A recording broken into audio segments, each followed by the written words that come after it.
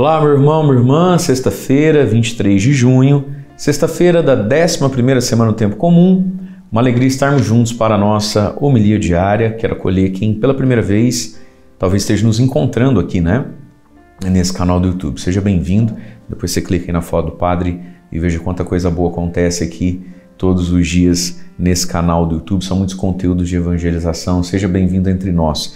Enquanto o Padre vai proclamar o Evangelho de hoje, fazer reflexão da palavra com você, não se esqueça, durante esse tempinho, dá o like. Esse joinha é muito importante para o canal e também o um comentário. É isso que faz o YouTube mostrar o vídeo para mais pessoas e é por isso que a cada dia chega mais gente aqui por aqui conosco também, tá bom? Isso realmente é importante. Queridos, vamos ao evangelho então de hoje, Mateus capítulo 6, versículos de 19 a 23. Diz assim: Naquele tempo disse Jesus aos seus discípulos: Não junteis tesouros aqui na terra, onde a traça e a ferrugem destroem e os ladrões assaltam e roubam.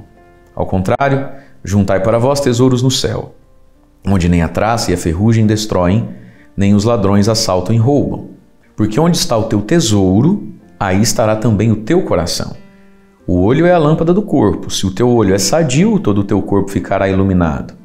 Se o teu olho está doente, todo o teu corpo ficará na escuridão. Ora, se a luz que existe em ti é escuridão, como será grande a escuridão?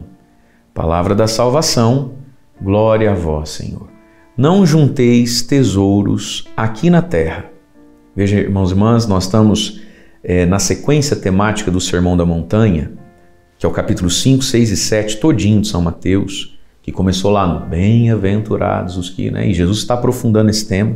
E aí nós já ouvimos falar essa semana Jesus dizendo então, quando você for praticar a sua justiça, que são três coisas, não é?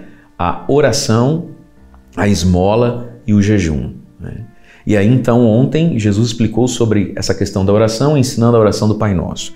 Hoje Jesus está retomando o ponto que ele falou um pouquinho tempo atrás, né? Oração, esmola e jejum. Então, o relacionamento hoje com o dinheiro. Qual que é uma das nossas dificuldades em fazer caridade, esmola, entender a evangelização, o evangelho e os mais pobres é, como um campo onde nós podemos semear né, as nossas sementes através do ato da caridade. Jesus então aqui vai dizer: não junteis tesouros aqui na terra, né, onde a traça e a ferrugem destroem, os ladrões assaltam e roubam. Ao contrário, juntai para vós tesouros no céu, onde nem a traça e a ferrugem destroem, nem os ladrões assaltam e roubam, porque onde está o teu tesouro, ali vai estar o teu coração. E aqui está, São Paulo vai ensinar, né? A raiz de todos os males é o amor ao dinheiro. Não é ter dinheiro, mas é ter amor ao dinheiro. E o ser humano pode amar tanto o dinheiro que quer e que acaba tendo o seu coração lá no dinheiro, aqui nessa terra. Né? E aí o evangelho, é, Jesus vai contar aquela parábola, né? Um homem colheu tanto que não tinha nem onde guardar, e aí então ele derruba o celeiro, guarda ainda mais, fala assim: ah, agora sim, né? Vou desfrutar a vida. Eu tenho uma reserva para muitos anos, e Deus diz, né? Tolo, louco, essa noite você vai morrer, né? Então, a loucura, a cegueira que o dinheiro muitas vezes, o amor a ele produz. O amor ao que ele pode dar, o luxo, né? a futilidade, as coisas que têm preços assim tão fora do real, que chegam às vezes a ser uma zombaria, né? A miséria de tantos. Né? E o amor ao dinheiro mesmo. É, a gente às vezes vai vendo pessoas que elas amam o dinheiro pelo dinheiro, elas nem desfrutam daquilo, vivem como pobres, né? nem, nem desfrutam de algo que seria lícito desfrutar e ter, porque a pessoa se apaixona pela cifra, né? É o tio Patinhas, lembra? A pessoa se apaixona por abrir o aplicativo do banco e ver aquele valor aumentar, nunca diminuir. E às vezes nem desfruta, nem o necessário, às vezes, para a família, para o conforto, a pessoa se permite, então, esse juntar tesouros aqui na terra, né? E aí Jesus está dizendo: junte tesouros para vós no céu. Agora, se o assunto aqui, então, é, está dentro da perspectiva do dinheiro, né? E a gente não deve juntar tesouros aqui na terra, a gente junta tesouros no céu. Como? Usando de um modo correto, justo, né? O dinheiro, sem ser escravo dele. Nessa semana, para quem acompanha a missa todos os dias, acho que você se lembra que a primeira leitura da missa da quarta-feira foi um trecho da carta aos Coríntios que vai nos ajudar a entender essa temática também. 2 Coríntios 9, do 6 ao 16, né? Do 6 ao 11. 2 Coríntios 9, do 6 a 11. Irmãos, quem semeia pouco, colherá também pouco, quem semeia com largueza, colherá também com largueza, de cada um conforme tiver decidido no seu coração, sem pesar, nem constrangimento, sem reclamação, porque Deus ama quem dá com alegria. Lá, nessa carta aos Coríntios, Paulo está pedindo uma coleta para ajudar a igreja pobre de Jerusalém. E aí ele está dizendo que essa coleta é um semear, é um lançar sementes. Aí ele vai continuar dizendo: Deus é poderoso para vos acumular de toda sorte de graças, para que em tudo tenhais sempre o necessário e ainda tenhais de sobra para toda boa obra. Olha só. Portanto, o dinheiro que nos sobra precisa estar comprometido com a boa obra. Qual é a boa obra que Paulo está falando lá na carta aos Coríntios?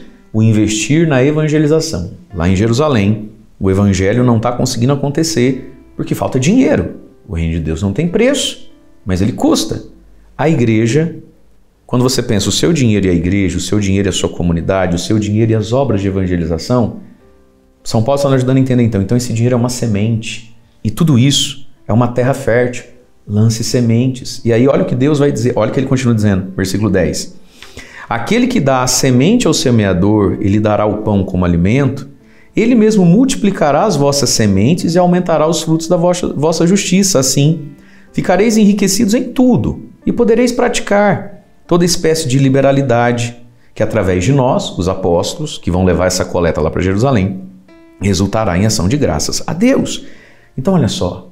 E aí, está falando aqui da igreja. O contexto do evangelho, Jesus estava falando da esmola com os mais pobres. Portanto, também os mais pobres, portanto, também o irmão que não tem, né? ele é um campo onde eu posso lançar minha semente. O dinheiro que me sobra é uma semente onde eu lanço. E Deus vai saber me recompensar, São Paulo diz, com toda sorte de graça e bênção na minha saúde, na minha fé, na minha espiritualidade, na minha unção interior. Em tantos modos Deus paga, Deus retribui e não se deixa vencer em generosidade. Mas o problema é que muitas vezes o nosso coração não está nem na construção do reino de Deus, a gente não tem coração para quem está precisando. O problema é que às vezes o nosso coração está no dinheiro pelo dinheiro mesmo. E aí a gente vai amontoando as coisas, né? E aí Jesus ainda explica: o olho é a lâmpada do corpo. Se o teu olho é sadio, todo o teu corpo ficará iluminado. Mas se o teu olho está doente, você todo vai ficar na escuridão. Então Jesus está relacionando dinheiro a olhar. Porque é no olhar que está onde? A ambição, né? É no olhar que as coisas brilham. Você fala, eu quero, eu já tenho, mas eu quero mais um, né? Eu já tenho, mas eu quero aquele ali, porque é de outra marca. Ó. O olho mal. Né? E o olho que fica em trevas e que daí já não enxerga o irmão já não enxerga a evangelização que precisa ser feita, custeada, já não enxerga o necessitado que passa perto de mim, já não vê a necessidade do outro, já não enxerga alegria em, em consolar situações, né? Então, o olho que fica mal por causa do amor ao dinheiro. E o próprio Jesus ainda vai dizer, né? Não podeis servir a Deus e ao dinheiro, que é o versículo 24, que é o versículo que foi cortado da liturgia de hoje, porque seria o primeiro versículo do evangelho de amanhã que não vai ser proclamado, porque amanhã na atividade de São João Batista tem evangelho próprio. Mas então vamos puxar de amanhã para hoje para terminar o raciocínio. Ora, se a luz que existe em ti é escuridão, como será grande a sua escuridão? E aí viria o versículo 24.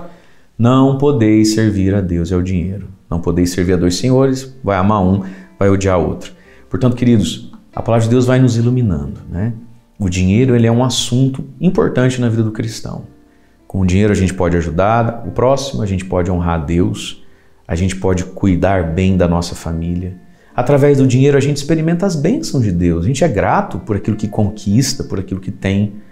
Mas no dinheiro a gente não pode se perder, não ajuntar tesouros. Tem um texto é, na terra onde tudo se, se estraga, né? Mas aproveitar do dinheiro para juntar tesouros no céu, hein? Olha o poder espiritual do dinheiro.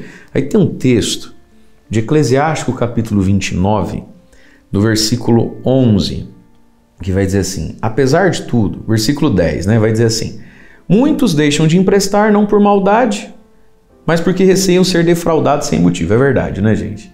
Aí o versículo 11 diz assim, ó: Mas, apesar de tudo, seja magnânimo com o humilhado e o pobre, e não faças esperar pela tua esmola, né? Versículo 12: Por causa do mandamento acode ao pobre, por causa da sua indigência, não o deixes ir embora de você de mãos vazias Versículo 13. Sacrifica algum dinheiro por um irmão e por um amigo. Tem tradução que diz assim: perde algum dinheiro em favor de algum irmão e amigo, e não escondas esse dinheiro debaixo de uma pedra para ficar inútil. Outra tradução assim: não esconda debaixo de uma pedra para enferrujar, porque sobretudo naquele tempo os dinheiros eram moedas, eram metal, né? Eu achei bonita essa expressão.